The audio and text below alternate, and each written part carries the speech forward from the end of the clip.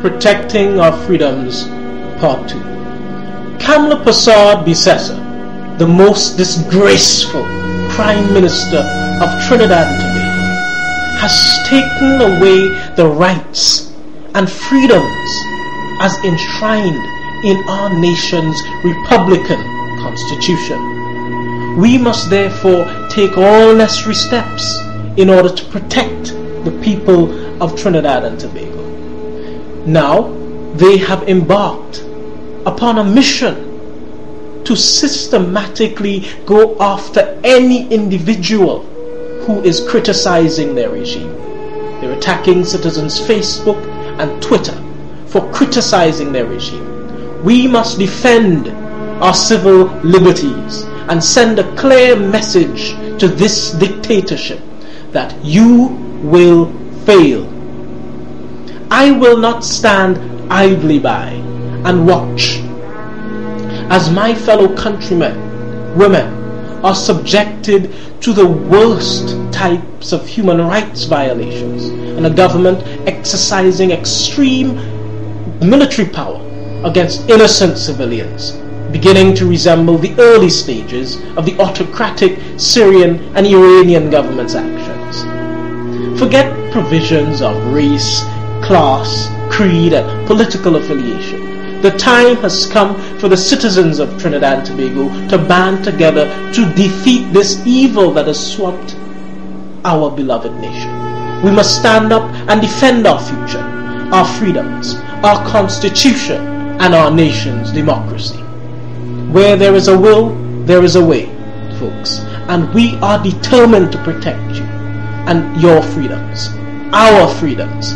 No pick-up side government can come into office and one day decide to erode all of our freedoms under the guise of trying to implement peace and security, yet imprisoning the entire country. I warn you not to pay attention to the propaganda campaign that this tyrannical regime is pushing. They're simply trying to legitimize their brutal, heavy-handed and fascist approach by suppressing the masses so that they can pursue their elitist agenda behind closed doors, while the rest of us must be forced to accept that our rights and freedoms are trampled upon and suspended indefinitely. US President Thomas Jefferson once said, Those who desire to give up freedom in order to gain security will not have, nor do they deserve, either one. The government is using fear in order to control the masses. And the fear that you could lose your life, be locked up at any point in time, elicits a coordinated conditioning of the population, making them almost mindlessly dependent towards those who claim they can protect them, such as the government and the protective services.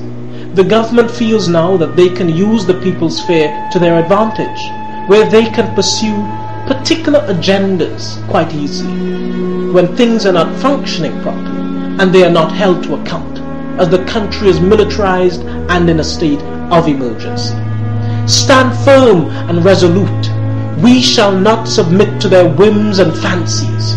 I understand it is difficult to be imprisoned in your homes, but Trinidad and Tobago, you shall overcome with the guidance of God. After May 24th, 2010, we began to see the systematic takeover of the state by the organized criminal elite, influencing government action. From the dismantling of the intelligence gathering capabilities of the state to the cancellation of the Coast Guard, OPVs, and training the severe attacks on the freedom of the press, as well as the removal of specialized and highly qualified and experienced personnel, replaced by individuals with fraudulent academic profiles, right up to senior government ministers such as Suruj. We even had a hand-picked drug dealer the PM put on a state board. Big fish, you say, Mr. AG? You tell me something is right with that. The Attorney General can say what he wants, and he can threaten the nation's Facebookers and Twitter users. But the time has come, once and for all, for the people of TNT to say enough is enough. all this intelligence, and the only people you are arresting is people from impoverished areas such as Nelson Street and Sea Lots, and that is big fish? Come better than that, Mr. A.G. You're sounding like a complete and utter fool. Question is, when don't you sound like one? There are particular parts of this country not under curfew where the so-called big fish could still be operating big time, while everyone is locked away in their homes. After all, it seems the criminal elite have quite a tight grip on this corrupt and vindictive regime. Mr. Big White Collar Organized Criminal is not being targeted by this government. Let's make that abundantly clear. Is not being targeted by this government.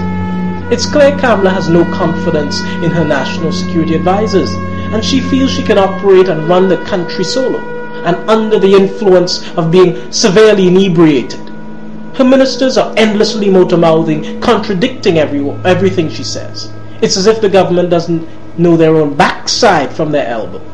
You can't get a solid position even if you wished for it. Big fish?